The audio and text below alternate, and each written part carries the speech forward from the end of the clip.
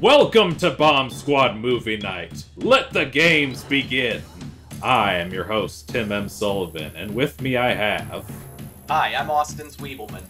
And I'm Ethan Hawker. And we have two returning guests today. First, we have joining the few, the proud, the Four Timers Club. Angie Hachiman. Yeah!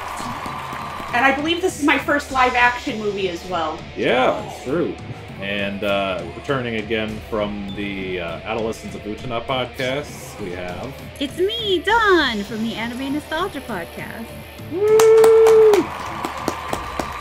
Thank All you. right. And today we have a interesting movie to talk about. We're talking about the 2018 film Animal World. And I'll go over just a little bit of background on what Animal World is. So, Animal World is a Chinese live action adaptation of the manga Gambling Apocalypse Kaiji by Nobuyuki Fukumoto, which is a series that has spawned a two season anime and a trilogy of Japanese live action films as well. Oh, it also produced a live action stage play musical.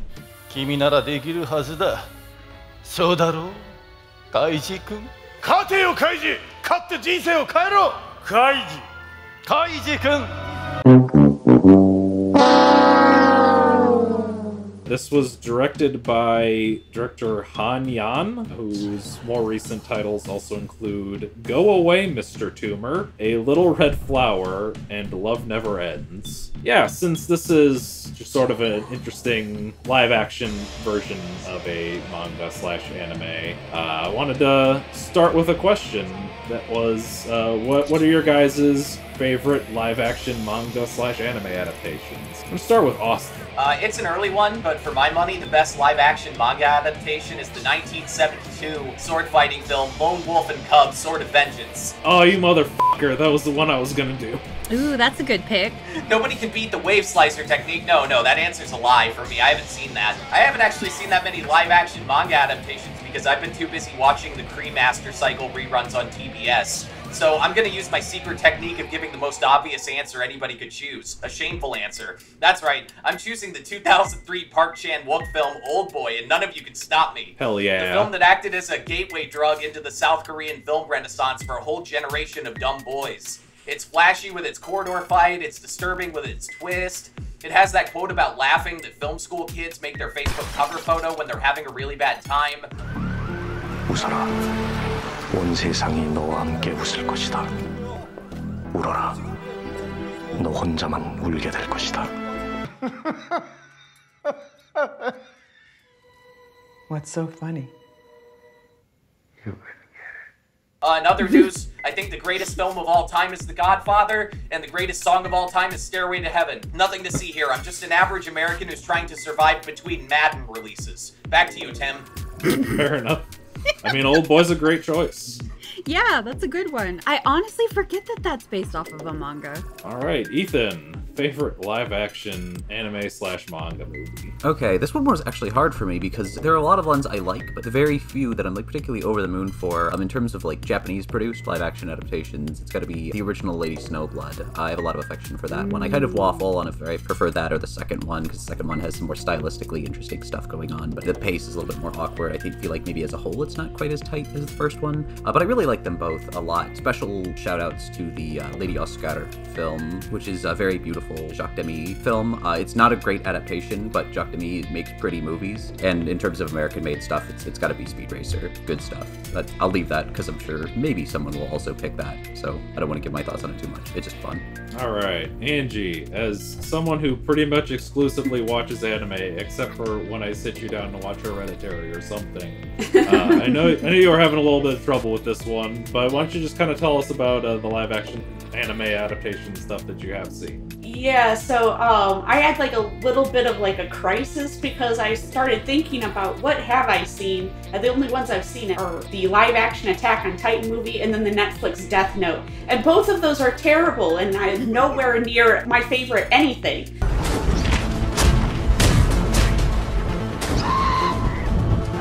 So I was like, I gotta seek out some you know, live actions. So to make a long story short, I, I found some, and I would say out of everything that I've seen, the Laughing Under the Clouds movie was probably the most entertaining, despite many variations from the original source material. Uh, it takes place during the Meiji Restoration, where there's some sort of unrest between people who don't really like the westernization of early Japan. So it's got like that historical fantasy sort of vibes to it because there's like the whole curse of the Orochi and the Orochi is going to be reborn within a human vessel. So you got fantasy, you got like historical, you got like fights. So it, it's pretty, it's got all the elements for a fun movie, despite the anime being vastly superior version of the story. I at least had some fun watching that. Nice.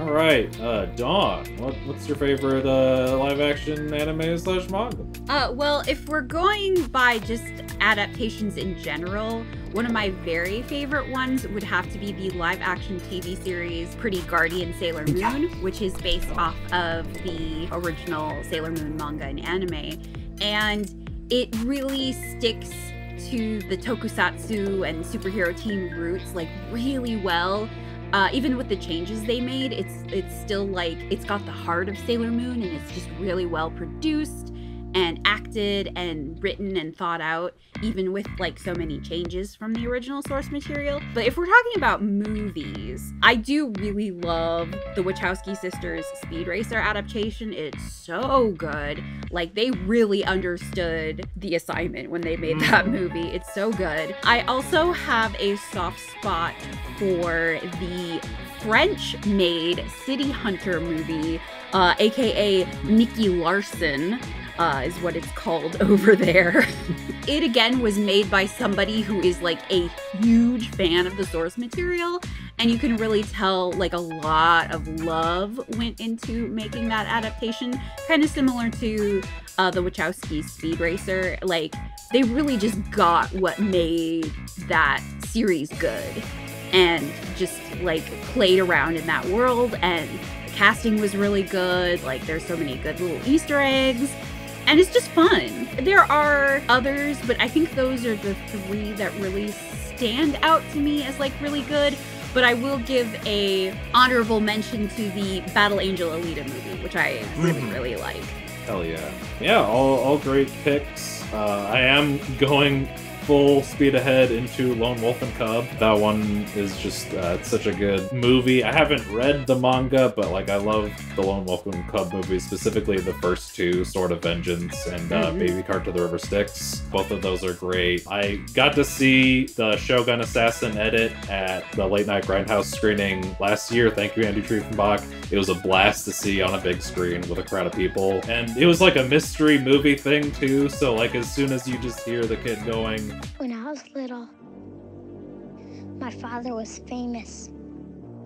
He was the greatest samurai in the empire. everyone's just like, Yes! It was awesome. Oh, I bet. That sounds fun. Do you want to watch a video with me before sleepy time?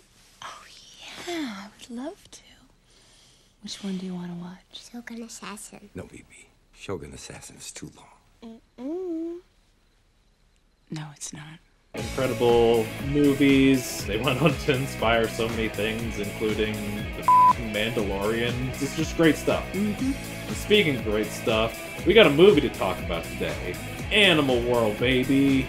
Let's talk about our thoughts on the Kaiji adaptation Animal World.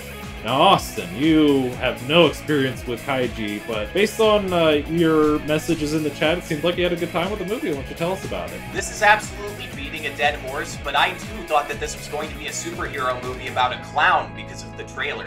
Tim kept mentioning something called Kaiji and told me that I wouldn't have to deal with researching it for time constraint reasons. And when my husband asked me what Kaiji was, I was just like, oh, I think it's about people who transform into fighting clowns. Uh, forgive me, Tim. In- in- All good. Instead of getting a film where somebody becomes the Joker, it's a deadly serious remake of the Joker and the Thief montage from The Hangover. This is one of those death game movies that Japan exports like candy, but told with the brush of a Chinese filmmaker who's partial to vibrant flights of fancy that punctuate the plot, as previously demonstrated with his earlier movie Go Away Mr. Tumor, which was China's entry for Best Foreign Language back in 2015 that didn't manage to land the actual nomination. Those elaborate dream sequences were probably featured so heavily in the trailer because they really are kind of astonishing to behold. Four VFX houses worked on this film, including Weta Digital, doing their first Chinese release aimed at the international market. Weta is easily the most recognizable name out of the four, and they did the sequence that probably suckered the most people into watching this film, that train fight in the beginning. Functionally, the other VFX house that helped this movie the most was probably Fin Design Plus Effects out of Australia and Shanghai.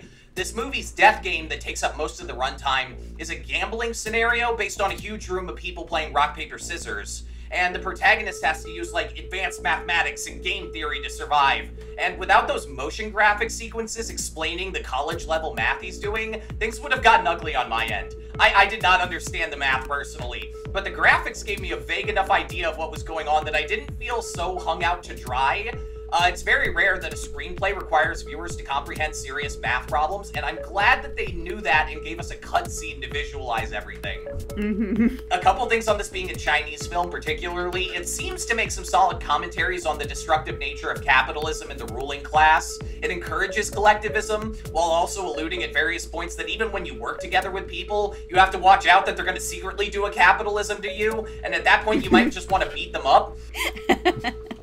Props to Gordon Gekko for doing a good enough job acting in this, Michael Douglas. I recently watched Ip Man 3 and Mike Tyson stood out like a sore thumb, so it's good seeing an American actor integrated more effectively into a Chinese film. Welcome to Animal World.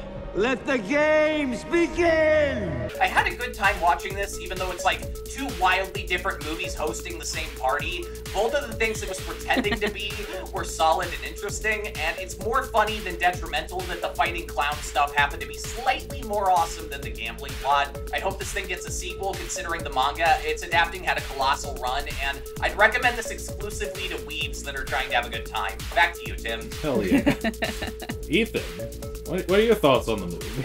It's fun. Um, I, I had a really good time with it. I'm not really familiar with Kaiji at all, but I do like the sort of formula. Obviously, I'm sure this is this has been reiterated literally a million times. I'm, I'm making no new points here, but uh, the vague reminder of the Duelist Kingdom arc in um, uh, Mhm. Yu-Gi-Oh! obviously Yeah. hit me while I was watching it, and so it's like i this is something vaguely familiar. The clown stuff threw me for a second because I had no idea. I'm like, I don't think that's in in the Kaiji manga or anime. I'm, I'm completely unfamiliar. Um, No. yeah, because it's very fun though, very vibrant, and I think the way it plays with sort of heightened reality throughout helps keep people who maybe like even with the motion graphics, I don't know, some of the stuff with rock paper scissors eluded me a little bit. I'm I'm terrible. I'm a miserable statistician. So that sort of extra layer of effects on top of things was a lot of fun. I think Kaiji is a fun lead. He's noble and good overall, while hiding a bad boy streak. If I were to complain about one particular element, it's that my understanding of Kaiji is that he's a, crying wiener baby, um, Mhm. and I and that that is kind of missed here, just because he seems like kind of a dip, and I love that. But I also recognize you want to make the film more accessible to a wider audience, which seems Mhm. to be the aim of a lot of the integration of more like superhero kind of stuff throughout the film, which I understand. Like you kind of have to consider the marketability, and the end product is a lot of very fun action sequences and stuff that adds to the overall film. It's a little messy at times, but hey, if you're gonna make a particularly fun, sort of unique movie, it's gonna be messy at points. Mhm. Michael Douglas, in particular, has been mentioned. I think he's well served by this role because it's a lot of he can because he is speaking very authoritatively and directly. He just kind of has to be a bit of a ham every once in a while and speak his lines in a very measured pace. In three days, this ship will set out from Akamoto. Say, God, I can never say this island's name in one breath. Arakakamaka Bono Island. Right, okay. But I think overall, I had a lot of fun with it. Um, it's made me interested in checking out Kaiji proper. Um, So I'm excited to check out that, and I would not be opposed to watching an Animal World 2. That'd be fun. It's a good movie, and I recommend it to folks who are interested in this sort of thing. And I think it's accessible even outside of like the, the anime space too, um, in a lot of ways. And you and I both watched Kaiji somewhat recently. What are your thoughts on the movie? All right, so like everyone, uh, the trailer really like throws you off because you told me it was a Kaiji adaptation, and I watched the trailer and I'm like, huh? What? So I tried to go into it expecting it not to be like a true one-to-one adaptation of the source material, just to not to like, you know, get my hopes up. But it ended up actually being a surprisingly a pretty accurate, for at least from what I remember, it seemed to be pretty accurate to the first arc of the story. Yeah. But they did, uh, with some changes, I think they mostly changed the cast. Like the main character, he isn't really like Kaiji from like the manga and anime. But I think that worked. Uh, I really liked the multinational like uh, addition to the story where you got like people Mhm. from all over the world and different nationalities kind of interacting together on the ship. I thought that was a really great like addition that adds like a little bit extra to it. I'm sorry I don't remember anybody's names or know any actors' names. I did enjoy the old white guy that was like running the game. Yeah, Michael Douglas. Yes, he is so enjoyable, and I think everyone's already mentioned that, but he did have a really enjoyable performance. He was a really enjoyable character. I guess the only thing is that uh, some of the fantasy sequences were a little bit confusing. Like, I'm overall, I'm kind of glad that it was sort of like an in his head sort of thing, and that there weren't actual real monsters in there, because the trailer got me a little bit worried about that. But I think I got really confused in the scene in the hospital where he started beating up that patient. I thought for sure that was a fantasy, and then they start bandaging up his hand, and I'm like, it really happened? What?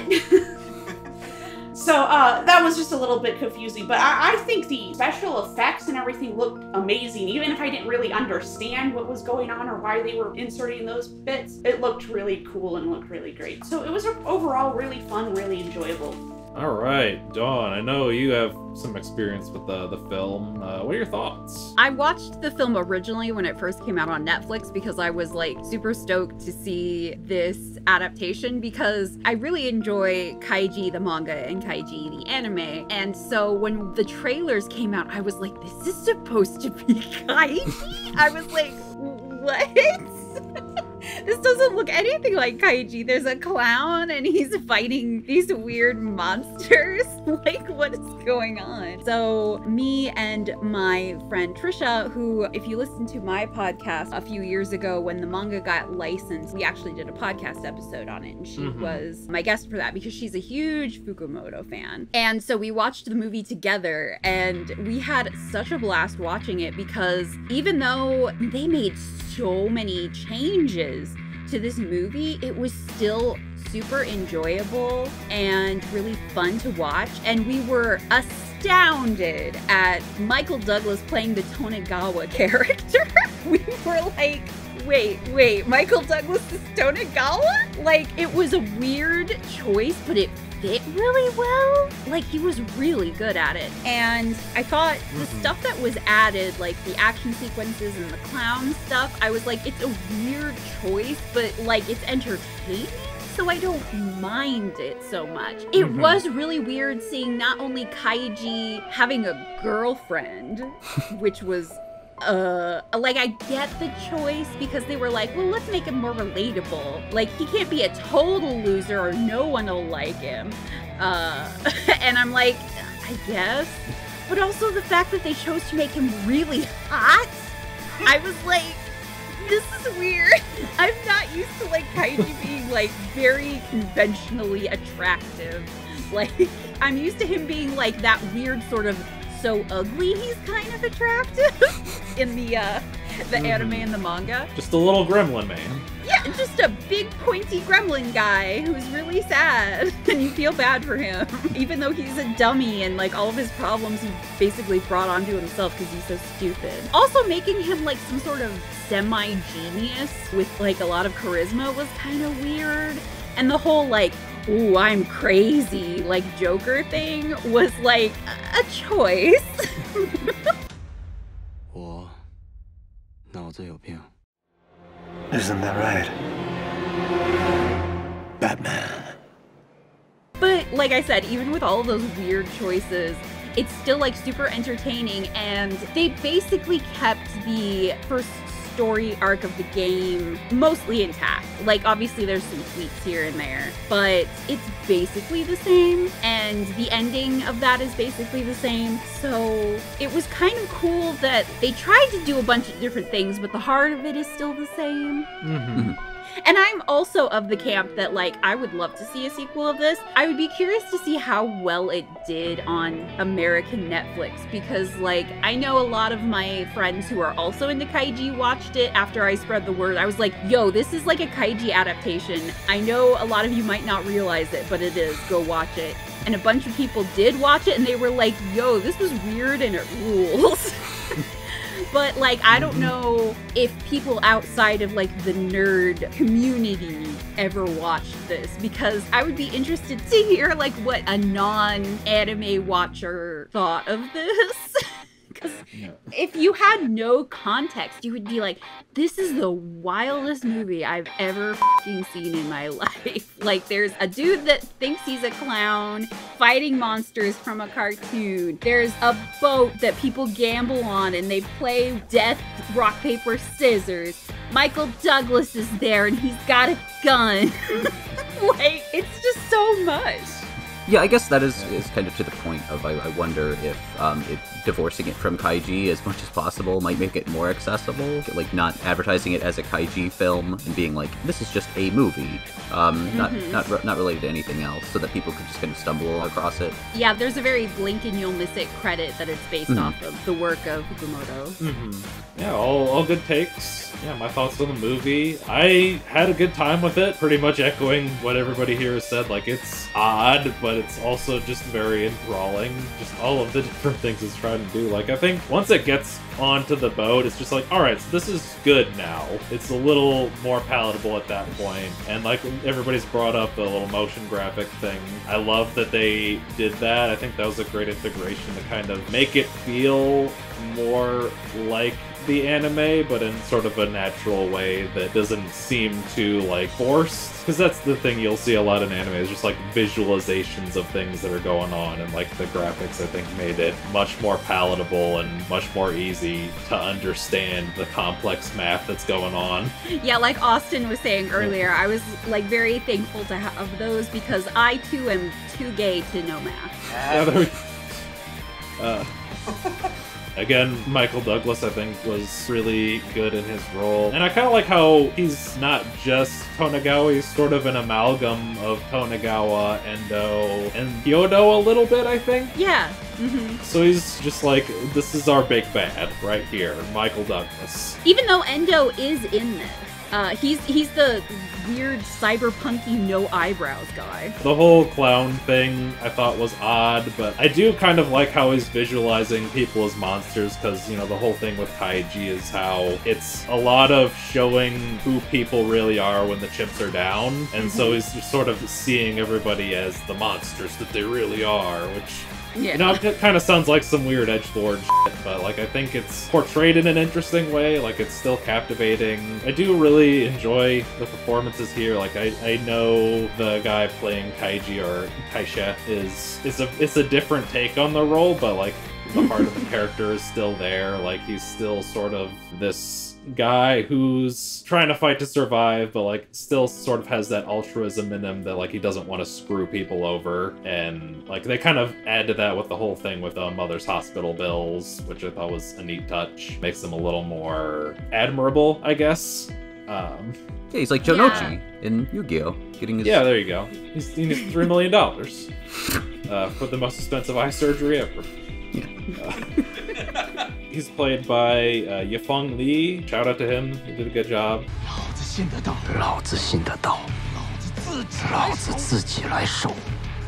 背叛，争抢，没有底线。 I liked the take on the Funai character, which uh, his name is uh, Zhang Jinkun. Uh, is played by Kesu, and like I thought that they took an interesting direction with him by making him sort of uh, charismatic asshole instead of just like a slimy little douchebag. I mean, he's still a slimy little douchebag. Yeah, but suave. 只要找到一个合适的搭档，就有百分百的把握下船。把牌排成跟我一样的顺序， 剪刀石头布分成四组，十二次平局，三分钟搞定。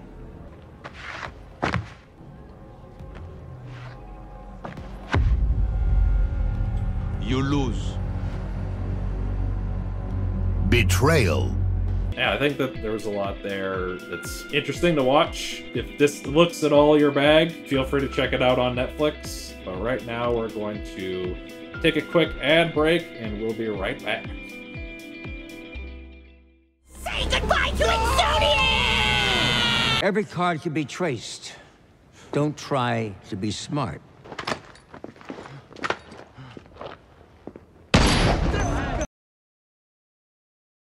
And we're back from commercials, and now it's time for some sponsored content. If you ever watched a movie and thought, this looks so pretty, I want to put the whole thing on my wall in the most abstract way possible.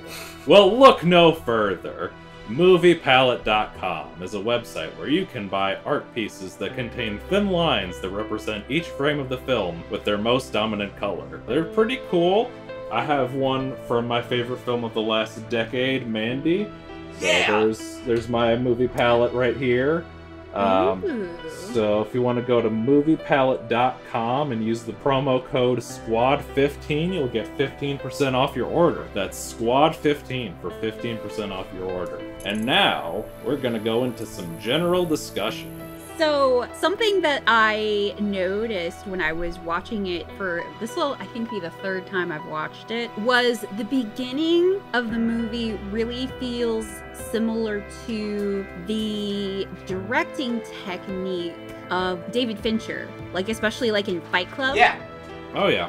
Yeah, I was thinking of I Fincher when they were doing all the crazy CGI camera moves you couldn't usually do in real life. Yeah, and they kind of tie that in throughout the movie in multiple shots. Like they kind of go back to it, especially with his like inner fantasy stuff with the Mhm. with the clown or the medical stuff or whatever. I thought that was interesting. The budget for this film was $44 million when you convert it, so it was, it was a big one. Yeah, I figured it probably was considering all the special effects and the fact that they kind of made it for like a worldwide release. And also the fact that Michael Douglas is in it. Mhm. Because I was like, he couldn't have been cheap, right? It's Yeah. Michael Douglas. I wonder which of his grandkids is like going to college now that this movie was made. Oh god. I was kind of impressed how good they made him look younger in the very, very end. Hmm. Where where he kind of is it's like, oh surprise! Like Yeah. the thing that happened with your mom, he he was in on it. Yeah. And that's one of the reasons I'm like, where's our sequel, Netflix? Yeah. I want to know what was supposed to go on after this. It says to be continued. They need to to be continuous. Yeah. I did that thing that Ethan does where you like search, you copy and paste the Chinese characters from Wikipedia, like the name, and then 2018, Oh, yeah. so you can get the Chinese articles and stuff. And I found one about how like the director was like wanting to make a sequel, but adapting like a sequel script for him has been so daunting that like they published this article in 2022, and it's just him saying it's hard. I'm working on Aw. it. So it's not like it's it's coming down the pipe anytime soon, I believe. I mean, I get it. Especially the next few games that come up in Kaiji, like Mm-hmm. that that's gonna be hard to figure out how to adapt something like that. Yeah, especially because like the next one is the one of them walking on the beams, and uh, this is the part of the show where we address the squid in the room. Uh, there's there's some very similar aspects of this series to Squid Game, and uh, that game in particular is very similar to like it's one of the ones towards the end of the season where they're trying to walk down this thing of glass plates. The creator of Squid Game has said that that was one of his main inspirations. Mhm. Like he went on record saying he was like a huge Kaiji fan. hmm The cinematography was really impressive in this movie too. Like I was kind of surprised at how good it looked. Shout out to the DP Max Da-Yung Wang. Uh, good good picture. I have a funny trivia about this movie. So, um, uh, apparently Fukumoto is like pretty protective of people who want to adapt the manga, especially if you're going to insert the Joker. And uh, so the director had to write a 10,000 word proposal to the manga guy in order to get the rights to make the movie. And also, uh, he wasn't able to get Michael Douglas that easily. He wrote another 10,000 word proposal to Michael Douglas. So it's kind of funny because this Wow. movie feels like it was made by a math student, and he used like homework assignments to make production things happen. Hell yeah. Another fact is the reptilian creature that the main dude fights was nicknamed Hightower by the Australia-based VFX house Rising Sun Pictures, and they had to change how Hightower looked throughout the movie, particularly for the card game sequence. They were like, "Oh, he he doesn't have hands. So they had to give him hands all of a sudden when he's Yeah. playing cards, because, you know, Plays cards with his mouth. he's gonna toss him out there like a dog. He's gonna use his wiggly eyeballs.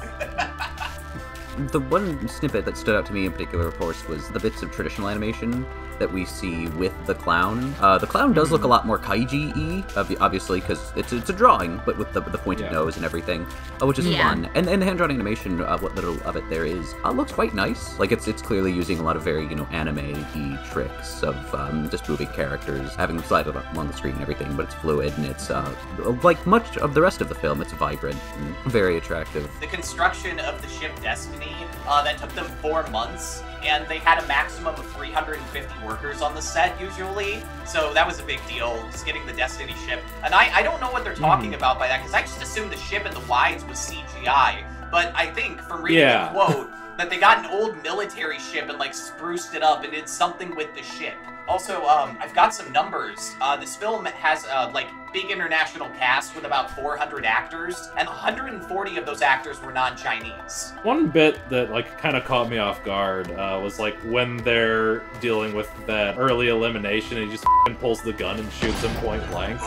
Uh, right? Because in the anime and the manga, like they just take the guy to the other room, but he's just like, we don't, we don't do cheating here. Bang. Yeah. That is how it narrowly classifies as a death game movie. I wasn't allowed to call it a death game movie until Michael Douglas capped that guy.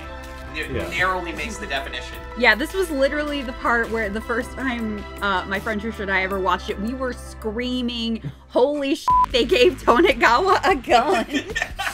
This is international waters. Anything goes."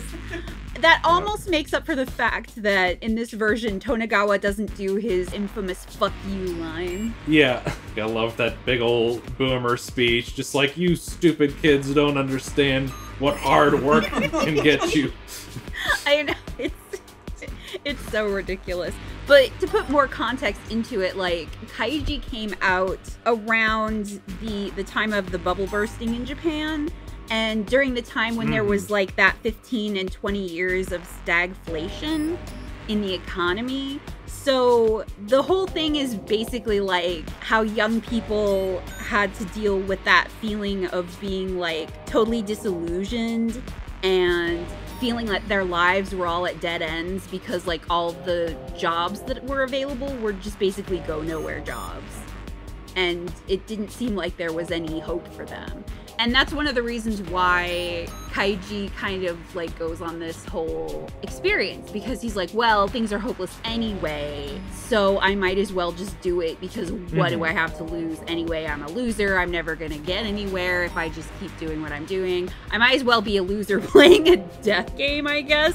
And maybe if i'm lucky i can get some money uh, and uh, that's kind of how the the ball gets rolling for it. Something I did notice was that like they changed the name of the ship, which I thought was interesting. Yeah, it's no longer the S. Yeah, the espoir, which is French for like hope. They changed mm-hmm. it to destiny, which I thought was interesting because while the words are like similar, I feel like the context is different. Like you hear like, oh, there's a mm-hmm. gambling ship named Hope, and you think like, oh, that's a sign maybe, like my last ray of hope. Here's this boat. But like destiny, that feels more like, you know, I'm destined to do this. Like this is, you know, something I have to do it feels less hopeful and more like fate driven which Mhm. thinking about it i guess it fits this story a little better but it was still interesting because i was just i'm i i kind of missed like the the the kaiji narrator talking about the espoir Yeah, I, I do I do agree there. Uh, I do also think like it's kind of interesting how in this movie Kaiji's altruism almost sort of rewards him at the end. Like he, he gives the stars to Frida guy, but then like he gets off the boat. Whereas in the original series, it's like, all right, now you gotta do all these other things. yeah yeah exactly it's like well you you made it off the boat but uh you still have a lot of problems my guy Mhm. Um, which I mean, that kind of makes it more like self-encapsulated. Which you know, if they if Animal World Two never does come out, I, I'm satisfied with what we have here.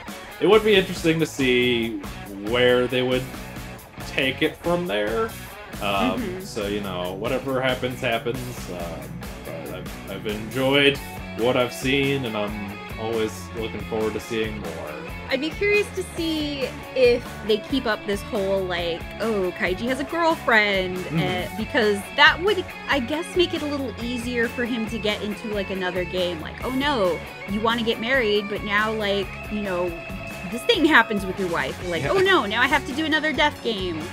Yeah. Uh, and this time it's Death Pachinko or, you Yeah. know, something. It is interesting how like this movie is the version of Kaiji that is not a sausage fest. Like it's still mostly dudes, but there are like female characters in there. The mom, the girlfriend. Yes.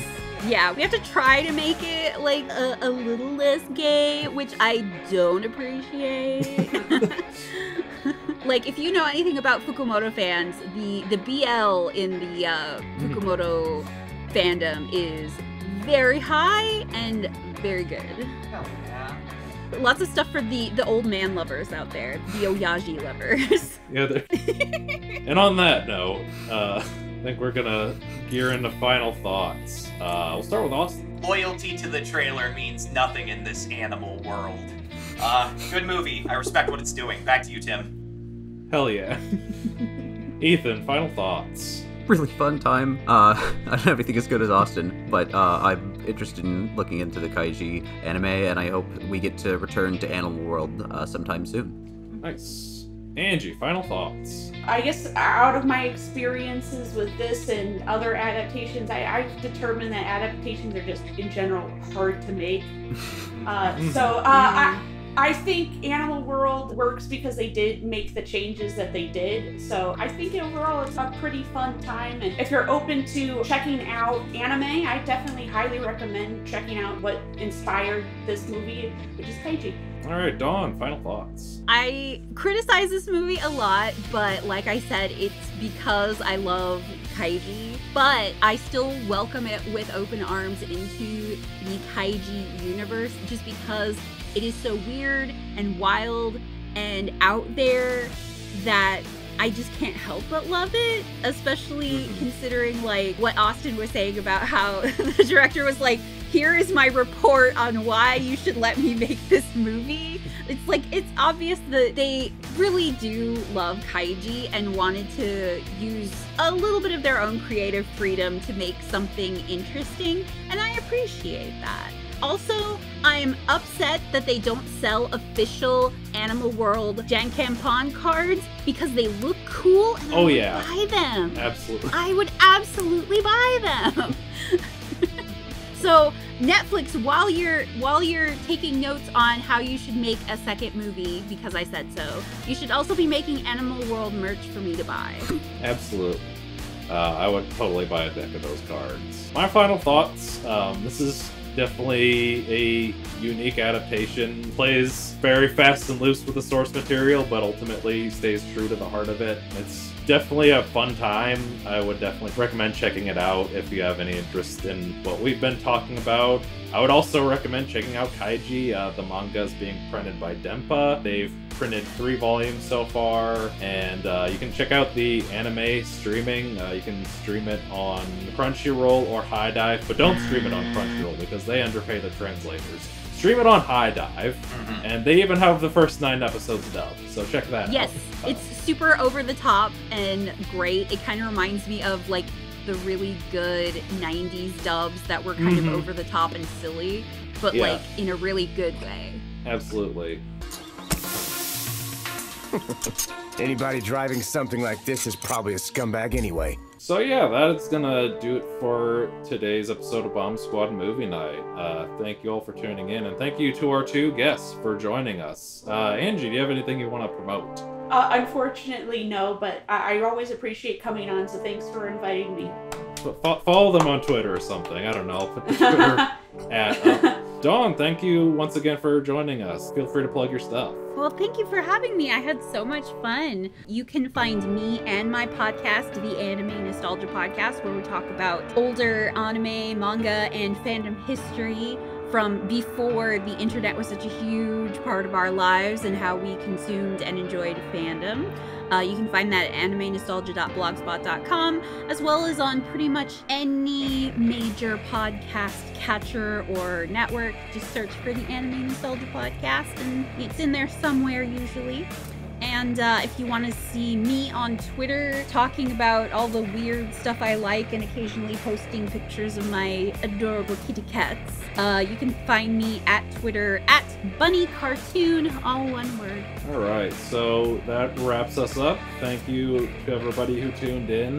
Uh, if you're listening on any of the audio platforms, give us a review or a thumbs up or something. Uh, just interact with us, please. Uh, we, we just like to know that you're listening. And uh, if you're watching this video on Spotify, uncensored, thank you for watching us with our naughty language. And if you did watch us on Spotify, uh, we don't make much money off of that, so why don't you go down to our Patreon and uh, donate a little bit of money. We got some incentives coming soon, so uh, stay tuned for that. You might be able to get some exclusive content. Yeah, pull out those wallets, baby. Yeah. If you're watching on YouTube, thanks for watching. Leave a comment below. Let us know. What do you think of Animal World? What do you think of Kaiji? What would you do if Michael Douglas pointed a gun at you? Let us know. And while you're down there, hit the like button if you like the video. Hit the subscribe button if you want to see more. And hit the bell icon so you get notifications for when we upload stuff. Tune in next week for our second annual Bomb Squad Awards show where we will be discussing the films of 2022 that we loved and appreciated. So we'll see you then, but until then, remember, in a high stakes gamble, no time for flying around. Farewell. Your performance has been pitiful.